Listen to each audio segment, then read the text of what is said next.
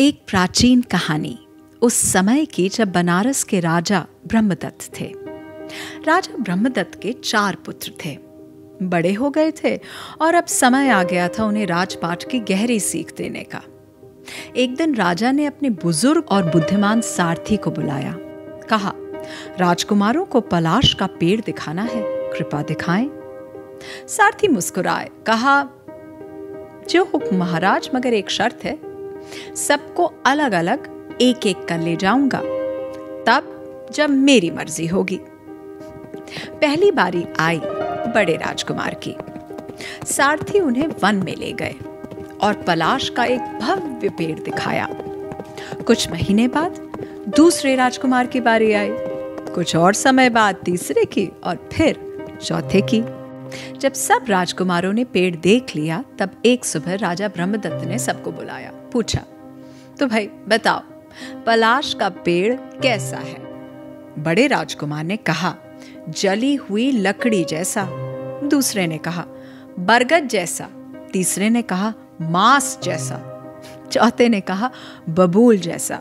चार राजकुमार चारों की इतनी भिन्न व्याख्या, और सब अपनी व्याख्या, अपनी दृष्टि को लेकर अडिग, ऐसा है तो ऐसा है।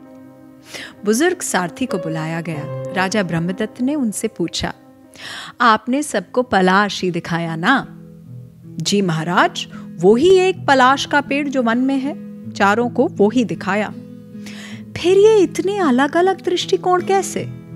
अब बारी थी, सारथी के हंसने की। महाराज, यूँ है कि राजकुमारों ने एक ही पलाश का पेड़ देखा, मगर अलग अलग समय और अलग अलग परिस्थिति में पहला, जब डाल से कली निकलने को ही थी। दूसरा, जब पेड़ पूरे पत्तों से भरा था। तीसरा, जब फल लग रहे थे। और चौथा, जब फूल पूरी तरह से खिले थे। अलग अलग समय अलग अलग रूप राजकुमारों ने देखा। उसके बारे में एक दृष्टि अपनाई, एक विचार बनाया और उसे पूर्ण सत्य मान बैठे। उन्होंने ये ना पूछा ना ही ये सोचा कि यही पेड़ अलग अलग समय कैसा कैसा दिखता है। हम भी शायद इन राजकुमारों की ही तरह हैं। कुछ घटना घटती है, हम देखते हैं और उसे पूर्ण अडिग सत्य मान बैठते हैं। जी जी तो ऐसी ही है। फेसबुक पे फ़ोटो देखो कैसे डालती है हुँ? अरे शर्मा जी, इतने भयानक लालची हो हो मिसेस गुप्ता, अरे वो तो महान है और उनका बेटा तो साक्षात राम। ये देवी है, वो दानव है, ये सही है, वो गलत है, ये शुभ है और वो अशुभ है, ऐसा ही है। सत्य, अपनी पूर्णता में, कुछ पलाश के पेड़ की तरह है, ये भी है, वो भी है और बाकी सब भी। हम उस सत्य का क्या अंश देखते हैं? ये निर्भर हमारे सारथी, यानी हमारे मन पर है।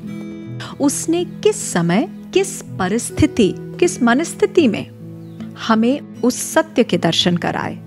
उसके अनुसार हमको कोई व्यक्ति या कोई घटना एक रूप में दिखती है।